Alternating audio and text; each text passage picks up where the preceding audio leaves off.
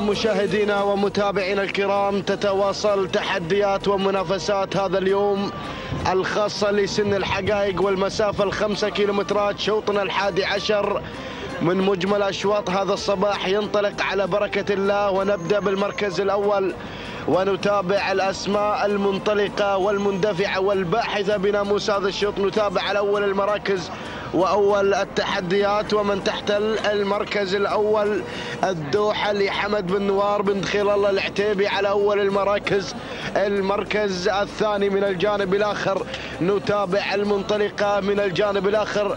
والقادمة في هذا التحدي الكبير نتابع هذه الشايبة لجار الله بن سالم مسلم بن جار الله النابت المري يحتل المركز الثاني وعلى المركز الثالث. نتابع المنطلقة وصلت الأبرقة لحمد بن سالم بن علي بن جهويل النابت المري وعلى المركز الرابع. المركز الرابع الشعار الأحمر المتواجد مع الجانب الآخر. تصل مشاهدي الأعزاء وتتقدم جمهرة لعبد الله بن خليفة بن محمد بن شاهين. المرر يحتل المركز الرابع بينما المركز الخامس. المركز الخامس شعار بن حفار يتواجد وينطلق مشاهدي الأعزاء مع الضبيه حمد بن سهيل بن عبد الهادي بن حفار المري على مستوى المركز الخامس. هذه النتيجة مشاهدي الأعزاء للمراكز الخمسة الأولى. نعود ونتحول إلى أول المراكز.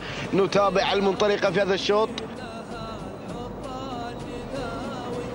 المركز الأول الشايب اللي جرى الله بن سالم مسلم بن جرى الله النابت المري بينما المركز الثاني اللي تتقدم في هذه اللحظات وتحتل المركز الثاني الساعي البخيت بن سالم محمد البخيت المري. يحتل المركز الثاني ويقدم الساعية بينما المركز الثالث. وصلت الضبية لحمد بن سهيل بن عبد الهادي بن حفار المري وعلى رابع المراكز تبقى هنا مشاهدينا الاعزاء جمهرة لعبد الله بن خليفة بن محمد بن شاهين المرر وشعار بن جهويل القادم مع خامس المراكز مقدم مشاهدينا الاعزاء لبرقة حمد بن سالم بن علي بن جهويل النابت المري. هذه النتيجة مشاهدي الأعزاء للمراكز الخمسة الأولى للنداء الثاني وهناك أسماء لن يحن موعد تواجدها في عالم الإذاعة. نترقب دخول جديد على المراكز الأولى. نعود إلى مقدمة الشوط نعود إلى الصدارة نتابع أول المراكز. الساعي البخيت بن سالم محمد بن بخيت المري. لا زال مسيطر على مقدمة هذا الشوط. بينما المركز الثاني ضبية لحمد بن سهيل بن عبد الهادي بن حفار المري وعلى ثالث المراكز الشايبة لجار الله بن سالم مسلم بن جار الله النابت المري يتواجد مع ثالث المراكز المركز الرابع. المركز الرابع جمهرة لعبد الله بن خليفة بن محمد بن شاهين المرر وعلى خامس المراكز أول ظهور. وإذاعة في هذا الشوط نوف لسعد بن شاكر بن زيد الشريف يصل لأول نداء ويحتل المركز الخامس. هذه النتيجة مشاهدي الأعزاء للمراكز الخمس الأولى مع هذه الأسماء الكبيرة. وهناك أسماء وسيل جار من الأبكار تنطلق مع المراكز الخلفية. ولكن نعود إلى الصدارة. نعود مشاهدي الأعزاء إلى المقدمة. نعود إلى أول المراكز. يا سلام. الكادر الأول عبر قناة الريان نتابع المنطلقة والمعلنة لهذا التحدي.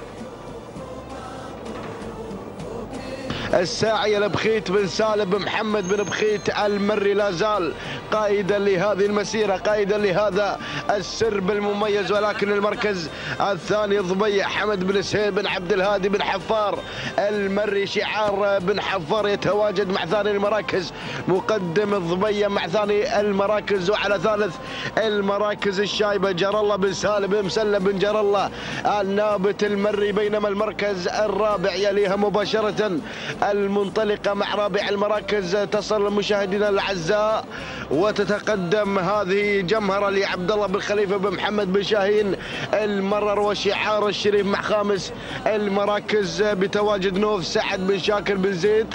العبد الشريف يتقدم مشاهدي الأعزاء مع خامس المراكز. هذه النتيجة مشاهدي الأعزاء. هذه النتيجة للمراكز الخمس الأولى. لم يتغير شيء على المقدمة. هنا شعار بخيت بن سالم محمد بن بخيت المري. يقدم الساعي على أول المراكز. هذه الساعي على المقدمة. تنطلق في صدارة الشوط بينما المركز الثاني الضبية تتواجد لحمد بن سهيل بن عبد الهادي بن حفار. المري تترقب هذا الموقف وتنطلق مع ثاني المراكز وعلى المركز الثالث. تصل الجمهرة لعبد الله بن خليفة بن محمد بن شاهين. المرر ولكن التسلل من قبل الشايبة. جار الله بن سالم بن مسلم بن جار الله. النابت المري وعلى خامس المراكز. وصلت نوف سعد بن شاكر بن زيد. الشريف القادم مع خامس المراكز. هذه النتيجة مشاهدينا الأعزاء 1200 عن خط النهاية 1200 عن ناموس هذا الشوط. هنا بن فاتوح يبحث عن النقطة الثانية في هذا الصباح. يقدم لنا الساعي بخيت بن سالم محمد بن بخيت المري على المقدمة. يقدم الساعية من تسعى إلى الناموس إلى الفوز وإلى الانتصار. هذه الساعية على المقدمة. ولكن بن حفار رافع راية الخطورة والتهديد مع ثاني المراكز مع الضبية حمد بن سهيل بن عبد الهادي بن حفار. المري وعلى المركز الثالث وصلت الشايبة جر الله بن سالم بن مسلم بن جر الله. النابت المري يا سلام وصلت الأسماء الكبيرة. نتابع المنطلق الشعار الأخضر القادم مشاهدي الأعزاء مع رابع المراكز. المعلنة لهذا التحدي. الله القادمة تصل مشاهدينا الأعزاء. وصلت الغزيل سعيد بن محمد بن أحمد بن الحوت العامري. يصل العامري لأول نداء مع الغزيل. يا سلام تنطلق الغزال. ولكن هنا مشاهدينا الأعزاء الساعية. الساعية ساعية إلى الناموس إلى الفوز والانتصار بدون أي أوامر ولا شبه تعليمات. تنطلق مشاهدينا الأعزاء الساعية. انطلاقة ذاتية وعرض مميز بخيت بن سالم محمد المري المري يقدم الساعية بدون منافس ومنازع على الإطلاق النقطة الثانية لمالك الساعية بخيت بن سالم بن محمد بن بخيت المري مشكور يا الفتوح على هذا الأداء الجميل مع الساعية. هذه مشاهدي الأعزاء الساعية تصل إلى خط نهاية بأمن وسلام. تهانينا والناموس لك يا بن بخيت على هذا الفوز المميز مع الساعية بدون منافس على الإطلاق. تهانينا وألف مبروك لحظات الوصول والعبور العبور هذه الساعية لبخيت بن سالم بن محمد بن بخيت المري تحت المركز الأول المركز الثاني الغزيل لسعيد بن محمد بن الحوت العامري. المركز الثالث وصلت في مشاهدينا الأعزاء مخلفة لناجي بن مسفر بن صالح العجمي المركز الرابع. جاءت في مشاهدي الأعزاء اليمامة لسعيد بن سالم بن سعيد الجربوع المري المركز الخامس. كان الوصول من قبل الأبرقة لحمد بن سالم بن علي بن جهويل النابت المري. اذا المشاهدين الأعزاء تهانينا وناموس لمالك الساعي على هذا الفوز المميز لبخيت بن سالم بن بن محمد بن بخيت المري على هذا الفوز. وهذه الساعية عبر قناة الريان تتابعون أعزائي المشاهدين لحظة وصولها إلى خط النهاية والتوقيت الزمني. أفضل توقيت في هذا الصباح مع الساعية تحطم تحت أقدام الساعية نهني بخيت بن سالم محمد بن بخيت المري. التوقيت الزمني سبع دقائق. 33 ثانية بدون أجزاء. من الثاني أفضل توقيت يتحطم مع الساعية في هذا الشوط. بينما المركز الثاني جاءت في مشاهدي الأعزاء. الغزيل شعار العامري والتوقيت الزمني للغزيل. سبع دقائق. 40 ثانية. أربع أجزاء من الثاني تهانينا وناموس لسعيد محمد بن الحوت العامري المركز الثالث.